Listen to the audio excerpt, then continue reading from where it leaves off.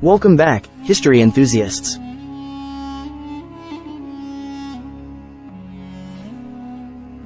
Today, we embark on a fascinating journey into the mysterious world of one of the most iconic figures in ancient history.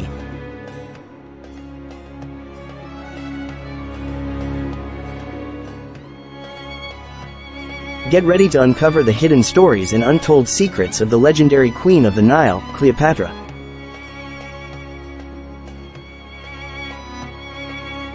In this video, we'll reveal 10 little known facts about this remarkable ruler who captivated hearts and shaped history.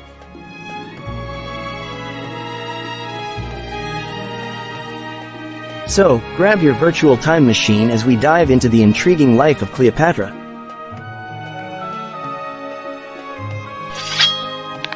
But before we begin, don't forget to hit that subscribe button and ring the notification bell to join our community of history enthusiasts. And if you enjoy this video, be sure to give it a thumbs up and share it with your friends.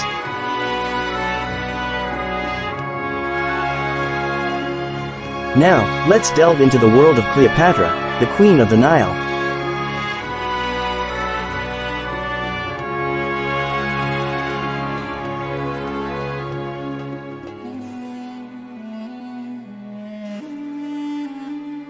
Untold Tales of Cleopatra 10 Surprising Facts About the Legendary Queen of the Nile Cleopatra, the enigmatic Queen of the Nile, continues to captivate our imagination with her timeless allure and legendary tales.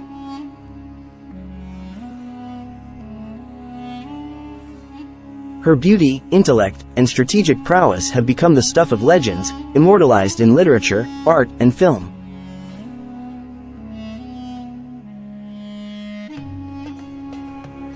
However, behind the well-known narratives lies a treasure trove of untold stories, shedding light on lesser-known facets of Cleopatra's life.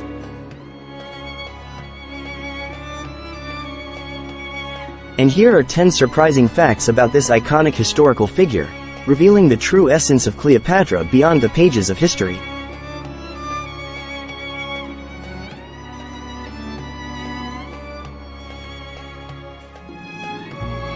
One, Cleopatra was not Egyptian.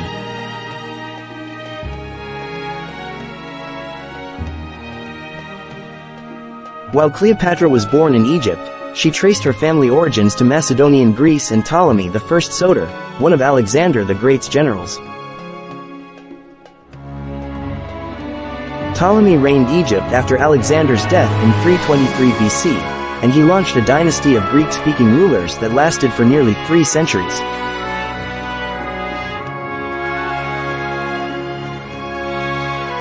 Despite not being ethnically Egyptian, Cleopatra embraced many of her country's ancient customs and was the first member of the Ptolemaic line to learn the Egyptian language.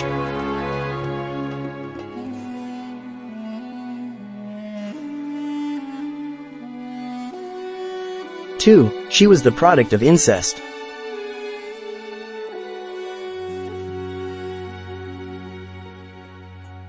Like many royal houses, members of the Ptolemaic dynasty often married within the family to preserve the purity of their bloodline.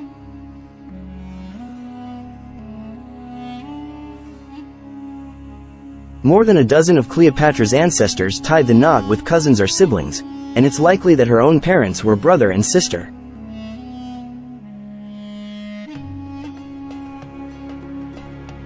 In keeping with this custom, Cleopatra eventually married both of her adolescent brothers, each of whom served as her ceremonial spouse and co-regent at different times during her reign.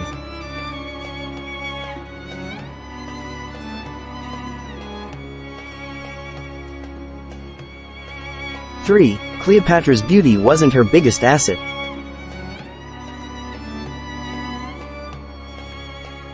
Roman propaganda painted Cleopatra as a debauched temptress who used her sex appeal as a political weapon, but she may have been more renowned for her intellect than her appearance.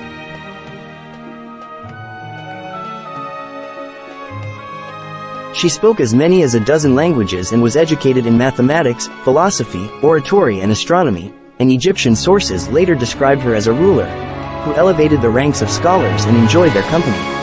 There's also evidence that Cleopatra wasn't as physically striking as once believed. Coins with her portrait show her with manly features and a large, hooked nose, though some historians contend that she intentionally portrayed herself as masculine as a display of strength.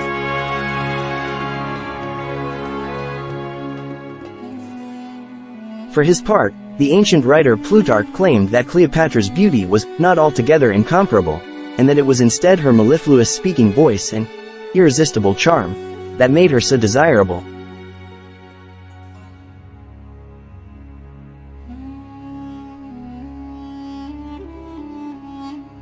Four, she had a hand in the deaths of three of her siblings.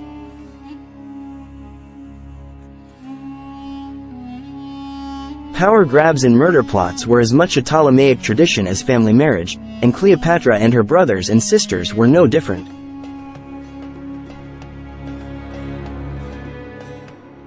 Her first sibling husband, Ptolemy XIII, ran her out of Egypt after she tried to take sole possession of the throne, and the pair later faced off in a civil war.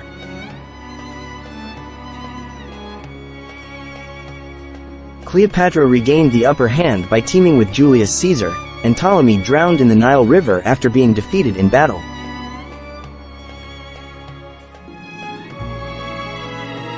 Following the war, Cleopatra remarried to her younger brother Ptolemy XIV, but she is believed to have had him murdered in a bid to make her son her co-ruler. In 41 BC, she also engineered the execution of her sister, Arsinoe, who she considered a rival to the throne.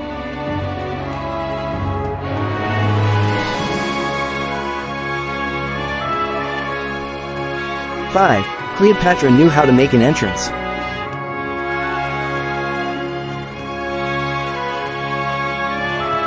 Cleopatra believed herself to be a living goddess, and she often used clever stagecraft to woo potential allies and reinforce her divine status. A famous example of her flair for the dramatic came in 48 BC, when Julius Caesar arrived in Alexandria during her feud with her brother Ptolemy XIII. Knowing Ptolemy forces would thwart her attempts to meet with the Roman general, Cleopatra had herself wrapped in a carpet. Some sources say it was a linen sack, and smuggled into his personal quarters.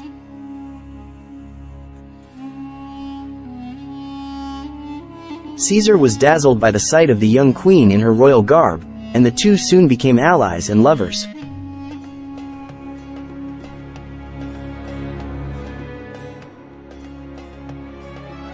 Cleopatra later employed a similar bit of theater in her 41 BC encounter with Mark Antony. When summoned to meet the Roman triumvir in Tarsus, she is said to have arrived on a golden barge adorned with purple sails and rowed by oars made of silver.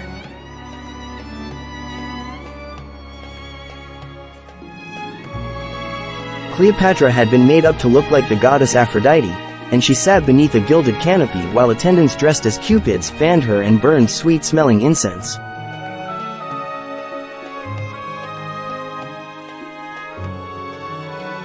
Antony, who considered himself the embodiment of the Greek god Dionysus, was instantly enchanted.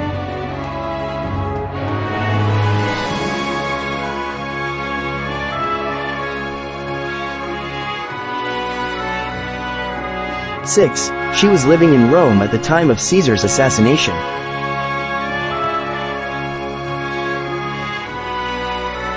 Cleopatra joined Julius Caesar in Rome beginning in 46 BC, and her presence seems to have caused quite a stir. Caesar didn't hide that she was his mistress. She even came to the city with their love child, Caesarion, in tow, and many Romans were scandalized when he erected a gilded statue of her in the temple of Venus Genetrix. Cleopatra was forced to flee Rome after Caesar was stabbed to death in the Roman Senate in 44 BC, but by then she had made her mark on the city.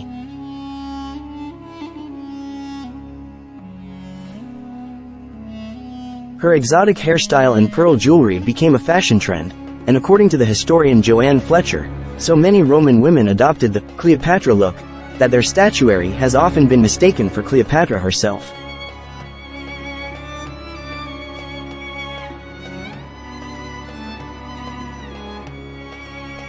Seven, Cleopatra and Mark Antony formed their own drinking club,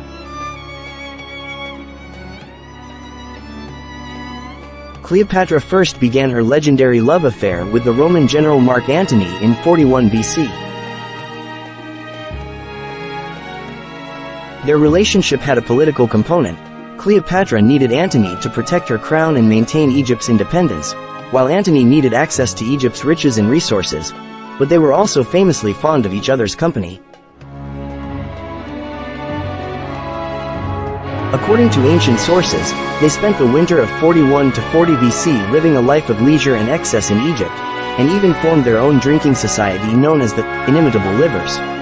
The group engaged in nightly feasts and wine binges, and its members occasionally took part in elaborate games and contests. One of Antony and Cleopatra's favorite activities supposedly involved wandering the streets of Alexandria in disguise and playing pranks on its residents.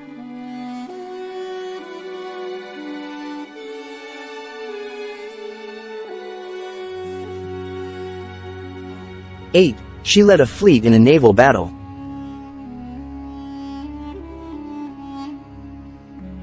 Cleopatra eventually married Mark Antony and had three children with him, but their relationship also spawned a massive scandal in Rome.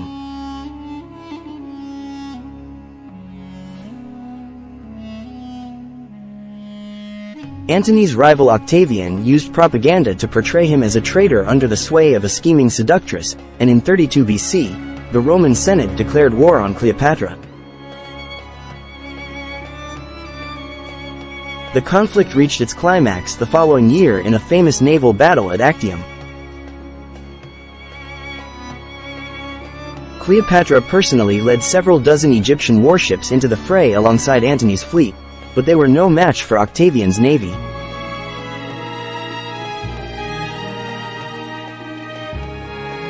The battle soon devolved into a rout, and Cleopatra and Antony were forced to break through the Roman line and flee to Egypt.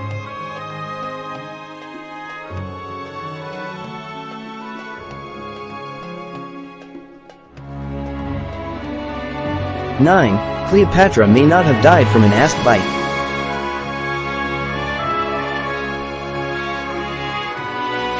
Cleopatra and Antony famously took their own lives in 30 BC, after Octavian's forces pursued them to Alexandria.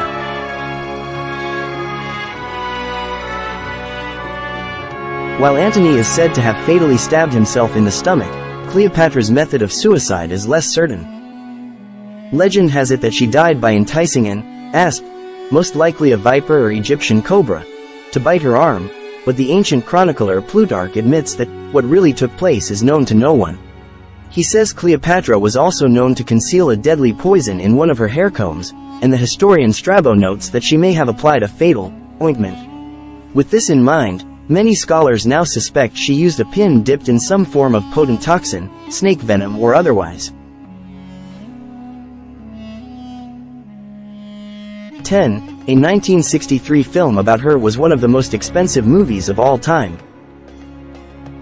The Queen of the Nile has been portrayed on the silver screen by the likes of Claudette Colbert and Sophia Loren, but she was most famously played by Elizabeth Taylor in the 1963 sword and sandal epic, Cleopatra. The film was plagued by production problems and script issues, and its budget eventually soared from $2 million to $44 million, including some $200,000 just to cover the cost of Taylor's costumes.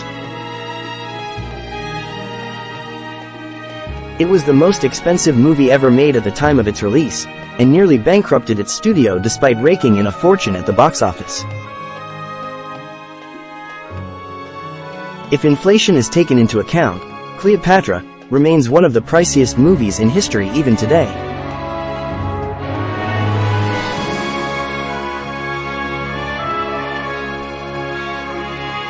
The life of Cleopatra, the Queen of the Nile, brims with astonishing revelations that challenge our preconceived notions and deepen our understanding of her indomitable spirit. From her linguistic talents to her passion for science and her political acumen, Cleopatra emerges as a multifaceted figure who defied conventions and left an indelible mark on history.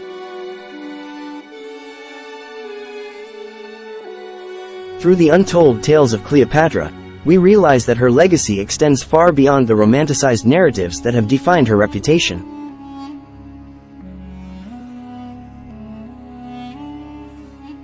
She was a complex woman who defied expectations, wielded power, and ultimately became an enduring symbol of female empowerment.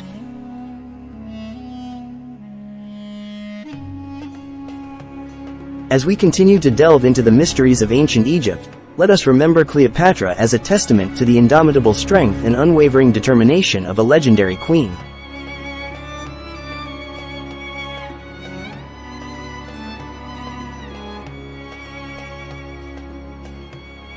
And there you have it, fellow history buffs.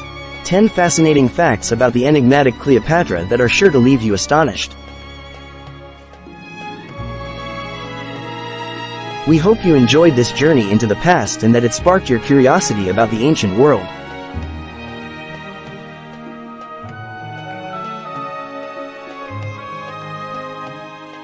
If you want to discover more captivating stories and delve deeper into history, be sure to check out our other videos and subscribe to our channel for more intriguing content.